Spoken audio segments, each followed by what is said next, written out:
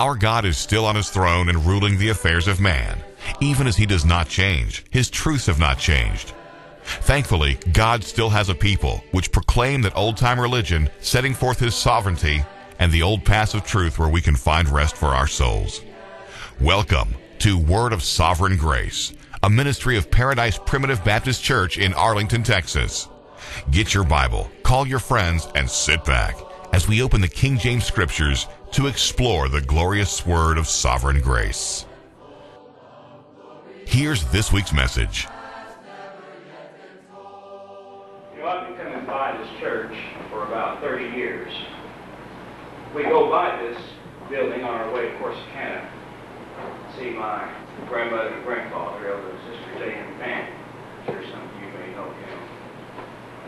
My mother would always point out the church to us, and she'd say, "Now, boys, I want you to look at that. That's a primitive Baptist church." And it was good to see this building, but it's even better to come inside. And it's very, very good when you feel the Lord inside with you. I felt the Lord with us this morning.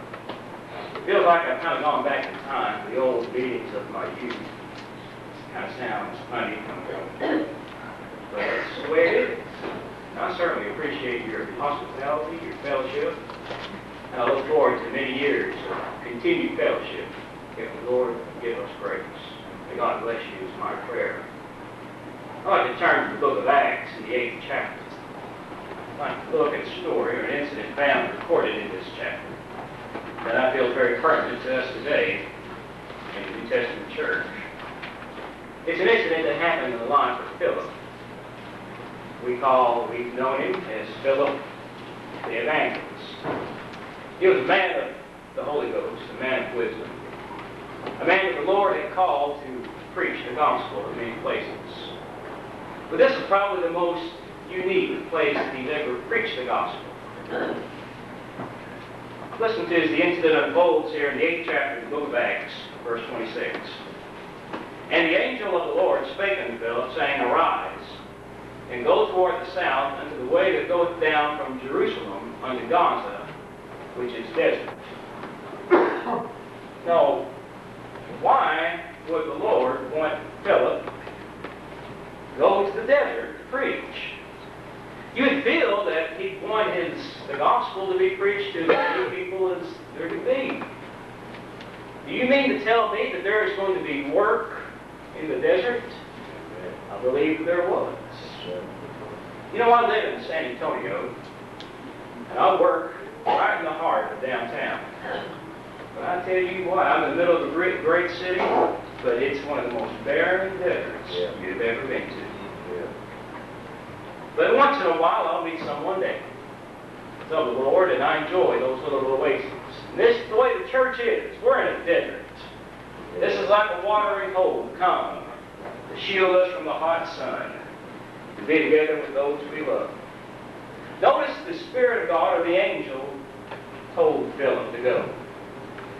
Well, why didn't the angel go down and preach? Well, it's not the angel's job, it's the preacher's job. And he'll send where the preaching needs to be. We don't need a mission board. We don't need a committee. We don't need any other man to tell us where to preach. The Lord will send the preacher. And if there's a need to be for someone to hear the gospel, then the Lord will take care of that situation. We need to be mindful of that and expedient when the Lord calls us to go to different places. We shouldn't ignore the Spirit, or we can't even force the Spirit, but we must be receptive to it. Now, the Lord will tell you when to preach, where to preach, what to preach, when to start preaching, and when to stop preaching. Unfortunately, we preachers don't usually listen to the last time. We kind of just kind of keep on going. But uh, I pray the Lord will help me in that matter, that when it's time to quit, I sit down. But he told them where to go. He said, now go toward the south, which is desert. You just, don't ask any questions. Don't try to read too much into this. Don't question me. You just go and do it. And sure enough, Philip did. That's where we ought to be. We don't need to question God. We don't need to try to interpret God with our own personal viewpoint. Just do like he tells us to do. What did Solomon say in the book of Ecclesiastes, one of the last verses? He said, Let us hear the conclusion of the whole matter. Fear the Lord and keep his commandments. For this is the whole duty of man. That's it. You can't get any more simpler than that. Just fear the Lord and keep His commandments. That's all you get to think about. And that, that will give you a lifetime job, my friends. So Philip did. Said, he arose and he went. Didn't waste any time either. Just went. And behold, a man of Ethiopia, a eunuch of great authority under Candace, queen of the Ethiopians, who had the charge of all her treasure, had come to Jerusalem for to worship, was returning and sitting in his chariot, reading. What was he reading? A novel? Detective story? Comic book? He was reading Isaiah the prophet. That's pretty good reading material, don't you think? Now that's just one man. Do you mean to tell me the Lord is just concerned about one individual? That he'd go to all this trouble to send a preacher just for one man? You better believe it. I'm certainly glad he is because it took one, it took me personally, the Lord to come down to me to show me the gospel of Jesus Christ. He dealt with me personally as he has every single one of you. Aren't you glad the Lord has concerned enough about you that he's opened up your mind to this glorious truth? Well, I'm certainly glad he is, and I hope I never close my mind to it, that I can stand here and enjoy the gospel all the days of my life and give God the praise due to his name. You know, he was concerned enough about that he wrote your name in the Lamb's Book of Life, that he called you eternally, that he sent his son to die for you. Yes, you better believe it. Just one man in the middle of the desert, sitting there reading the Bible, and the minister. Now this fellow, this, this eunuch, had a need. He had a question on his mind. He was reading the Bible and didn't really understand what he was reading. The Lord will send him the answer. If we're inquisitive and if we desire knowledge, the Lord will give us the answers to our questions. And he said, Then the Spirit said unto Philip, Go near and join thyself to this chariot. All right, tell them where to go. You know, I felt the desire to come to this meeting this weekend. I live in San Antonio. I had to drive about 200 miles to get here, but it didn't bother me one bit. Because I knew when I got here, I was going to find a group of people who wanted to serve the Lord. And I wanted to be here with you. Not because I had anything to teach you or show you, but I wanted to be here. I wanted to have the honor of being here with you. It's an honor serve the Lord. It. It's a great thing to do. Oh, I need to thank God so much for that. And so the Spirit told him to go there, and Philip ran. I like that zeal. We need to be zealous. We don't need to drag our feet. Wait for the Lord to take us by the hand when He tells us to do something. The time is short. Take the, the time is precious. I will enjoy every minute in the Lord's service. And time just talking about myself or carnal things is just wasting time. I want to talk about the Lord. And he ran. Said, he ran thither to him, and heard him read the prophet Isaiah, and said, Understandest thou what thou readest? There's a good minister for you. He's concerned. Now he ran to him. Now I want you to get every bit of this. And he didn't waste any time. He didn't say, How's the weather down here in the, in the desert? How are things in Jerusalem? How are things in Ethiopia? He just jumped right into the situation and said, Do you know what you're reading? See, here's a man who was receptive to God, who understood why God sent him. Then, when he saw this man sitting there, he realized God has sent me to minister to this individual. He went right up to me. Understand what thou readest. And I so much appreciate this eunuch's humility. Yeah. He didn't say, What's none of your business? well, give me a chance and I'll tell you what I think, or I'll give you my opinion about it. This is the opinion, this is the feeling that we need to have. As he said, How can I except some man should guide me? I need a little direction in this. If you have any, any direction in this, I would appreciate your guidance in this matter. You know what? I love my fathers in the ministry. They mean a lot to me. And what a great privilege it is to every one of you to come to these men and ask their guidance. These men are taught of God. God has showed them some things. And I want to know what God has showed them. And I want to be able to come to them and say, guide me in this matter. As opposed to trying to think of my own way and making a mistake. Usually making the situation worse. How can I? Except some man guide me. And I say this, how can Philip? Except some man should guide Philip. If the Lord does not give him knowledge. And Philip has nothing to give to this eunuch. But the Lord has guided him. And the eunuch recognizes that says, Come up to this chariot. And he desired that he would come up and sit with him. And the place of the scripture which he read was this, and this is the 53rd chapter, what we know, the 53rd chapter of Isaiah. He was led as a sheep to the slaughter, and like a lamb dumb before his shearer, so opened he not his mouth. In his humiliation, his judgment was taken away. And who should declare his generation? For his life is taken from the earth. And the eunuch answered Philip and said, I pray thee, of whom speaketh the prophet this? Of himself or some other man? Well, who do you think the prophet's talking about? Didn't take much. I think he's talking about our Lord Jesus Christ. But this fellow had not heard of Jesus Christ. That's why he needed a man to guide him. Amen. That's why he needed this. Who is this? And that, oh, by the way, that was a pretty good question. That's right. That asked. I can appreciate good, hard questions. You know, I've had some of these young kids come to me and ask me some brain stumpers. I to think about that. I had send them up to somebody else. I appreciate good questions. If you have a question ask, here's a good one right here. Who's he talking about? Himself or some other man? Well, what did Philip do? He said, well, let's it together. He said, wait, the next verse he says, Then Philip opened his mouth and began to say scripture and preached unto him who? Himself, or some other man, or the prophet himself. He preached unto him Jesus Christ.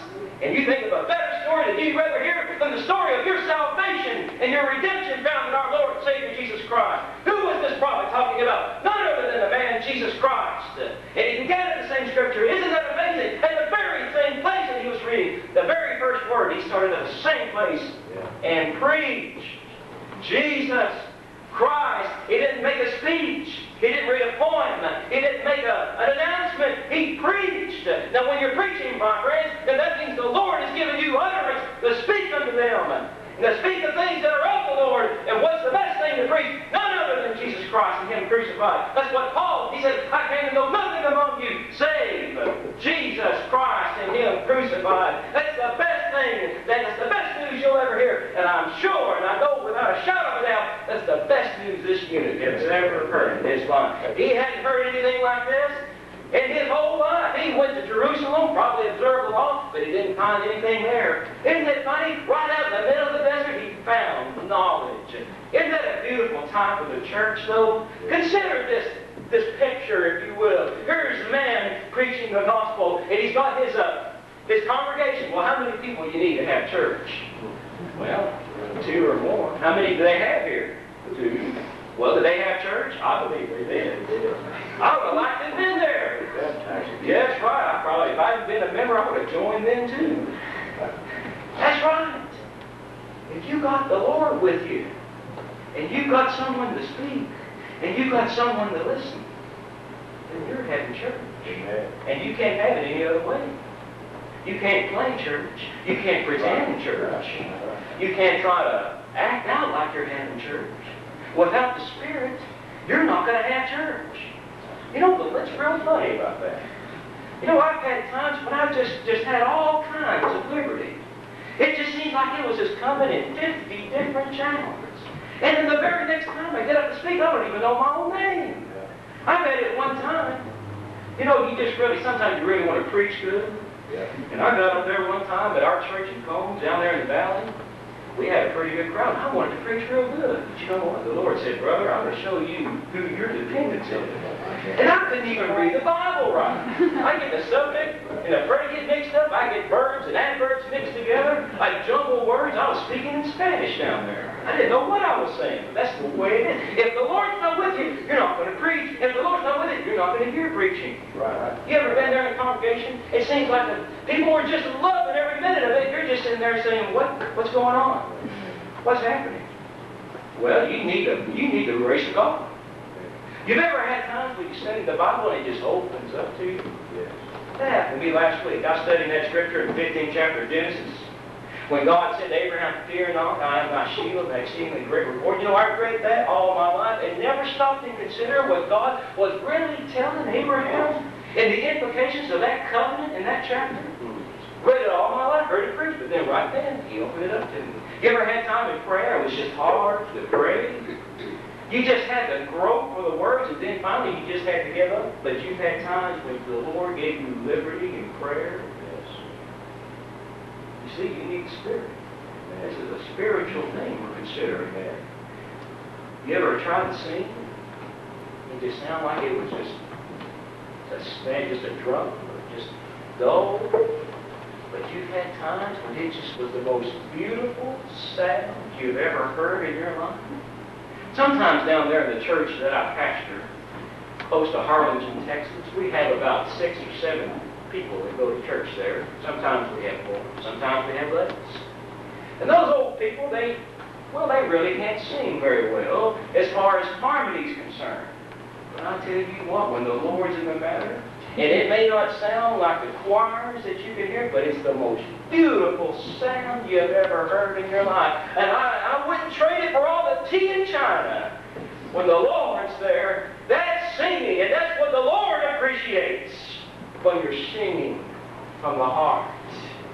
The Lord was here in the desert. We're in the desert. Did you know that? Here's the desert this old word.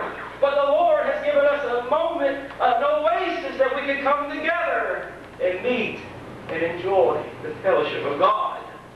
Philip opened his mouth and began to sing scripture and preached unto him Jesus. I would have loved to have been there to heard that sermon. I wonder what he preached about besides Jesus.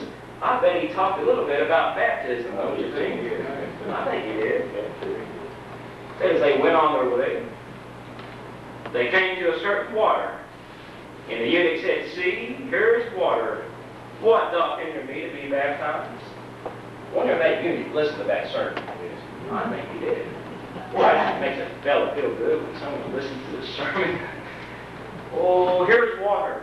I love the zeal, and this is the zeal that I hope that I keep in my heart. I hope I never forget the first love. When I first saw the Lord, I was raised a primitive Baptist, but it took the same grace of God as anybody else right. to enable me to see this gospel. Right. I listened to my father and my grandfather preach, but it wasn't until the Lord decided that the time was right that He opened my mind to see these beautiful truths. Right. It took the grace of God as anybody else. I wasn't any special case or special category.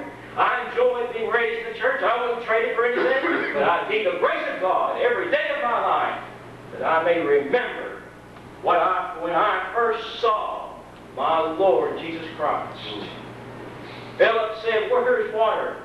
Is there any reason that I shouldn't be baptized? I love what you said to me, and I believe it as the truth. Well, I kind of bet Philip was just saying, well, I don't know about this. What am I going to do now? if he wants to be baptized and I got the water, well, he said, uh, said, if thou believest, with all thine heart thou mayest. See, baptism is a great privilege. It's an answer to a good conscience. It's a great privilege to be a member, to submit to that ordinance. Philip saying to you, well, what do you think?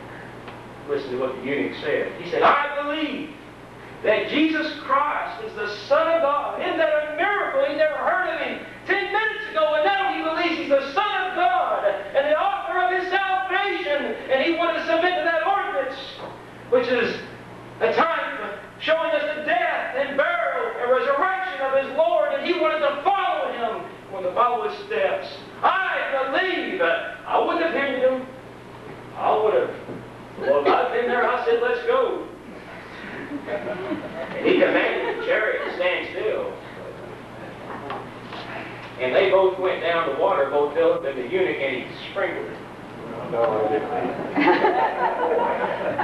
Are y'all awake? well, now wait a minute. I've seen it portrayed like that. That's wrong. That's not it. He baptized. They went both. They both went down into the water. They both came up out of the water. See, that's a. How could it be a time? For a portrayal of the death and burial resurrection of Jesus Christ if it's sprinkling? They didn't sprinkle just a little bit of earth on Christ. He went into the grave and he came up again. He arose from the tomb. And I and I tell you this because I've read commentaries where it does say that he sprinkled. He totally immersed him into the water and brought him back up again. And that's the way it really happened. That's right.